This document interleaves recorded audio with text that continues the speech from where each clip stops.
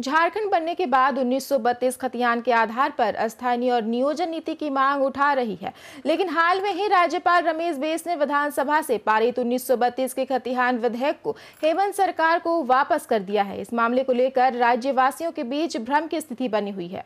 1932 खतिहान के मुद्दे को लेकर पद्मश्री मधु मंसूरी से खास बातचीत की रफ्तार मीडिया के संवाददाता सौरभ राय ने। झारखंड के अलग हुए तेईस वर्ष पूरा हो चुका है लेकिन अभी भी खतियान एवं स्थानीय नीति को लेकर आप देख रहे होंगे वर्तमान समय में भी लगातार कसाकसी तेज है। झारखंड सरकार एवं गवर्नर के बीच भी आप, आप देख सकते होंगे किस प्रकार से राजनीति हो रही है। इस सभी कुछ को लेकर हमारे साथ अभी बातचीत करने के लिए मौजूद है पद्मश्री मधु मंसूरी जी।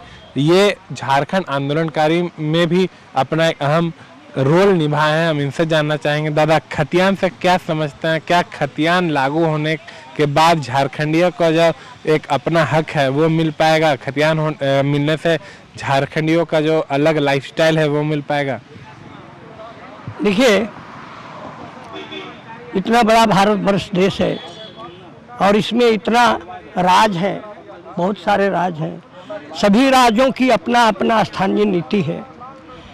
तो झारखंड मूल के लोग भी झारखंडी स्टाइल से यहाँ का जो प्रावधान है, प्रावधान नहीं है, अपनी सोच है, उसको खड़ा करना है, स्थापित करना है तो आदमी को कष्ट होता है। और यहाँ हम सोचते हैं, अगर 20-22 साल होने के बाद में भी झारखंड के लोगों को अगर खास लाभ नहीं मिला है, उसके कारण भी है कुछ।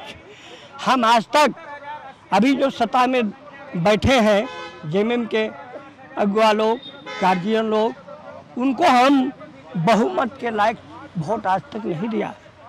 अगर हम इनको 50-60 विधायक देते हैं और उनका दिल में बस जाएगा कि हम कभी पिछड़ेंगे नहीं, हमको हमारे लोग हमको उचित विधायक देगा तो निश्चय ही हमारा मन को लगता है लाभ देगा।